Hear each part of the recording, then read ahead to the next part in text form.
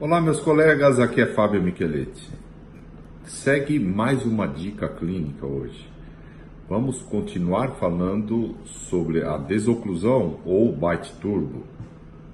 Então, esse vídeo seria a segunda dica para fazer um bom bite turbo.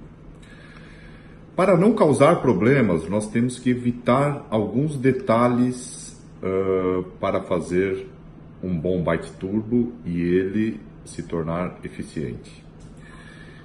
Então, nós temos que evitar dentes com problemas.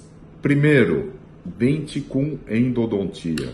Você vai evitar esse dente, ou seja, se você colocar o ionômero de vidro ou o, a resina nesse dente, ele vai estar sujeito a maior trauma, ele está com contato prematuro. Então nós vamos evitar os dentes endodônticos com tratamento de canal. Essa é a primeira dica.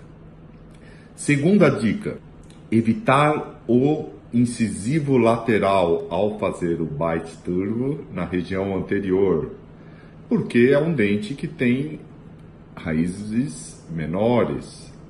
Então vamos fazer nos incisivos centrais. Terceira grande dica: Dentes com comprometimento periodontal. Evitar esses dentes, principalmente se esses dentes foram, forem os incisivos inferiores.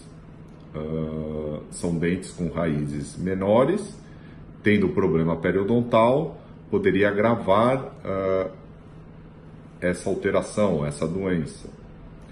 Eu gosto muito de toda a mordida cruzada anterior fazer um levante, fazer a desoclusão ou bite turbo nos incisivos inferiores com um, uma rampa, como se fosse um plano inclinado, salvo se esses incisivos têm algum problema periodontal. Aí eu faço o meu bite turbo na região posterior, tanto superior como inferior. O quinto passo, a quinta dica, é evitar os dentes que você quer que movimente. Por exemplo, um dente que está com mordida cruzada.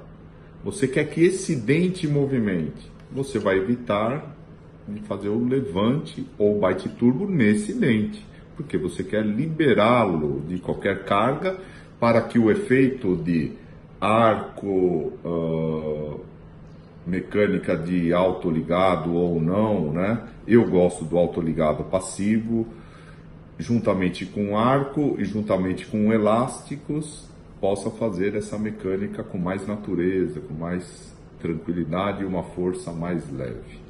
Ok? Grande abraço, siga as próximas dicas.